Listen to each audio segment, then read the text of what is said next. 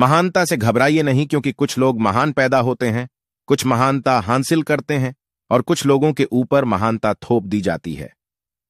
भगवान ने तुम्हें एक चेहरा दिया है और तुम अपने लिए एक नया बना लेते हो। इस दुनिया में कुछ भी अच्छा और बुरा नहीं होता, बल्कि हमारी सोच उसे अच्छा या बुरा बनाती है। डरपोक अपनी मृत्यु से पहले कई बार मरते हैं। बहादुर मौत का स्वाद और कभी नहीं बस एक बार छकते हैं। आप एक किरदार है और यह दुनिया एक रंगमंच। इस पर आपको अपने जीवन में कई किरदार निभाने पड़ेंगे। जैसे अंधेरे में एक छोटी सी मोमबत्ती भी दूर तक प्रकाश बिखेरती है, उसी तरह इस बुरी दुनिया में एक अच्छा काम दूर तक चमकता है। शब्द हवा की तरह ही आसानी से बहते हैं। वफादार मित्रों को पाना बेहद मुश्किल है।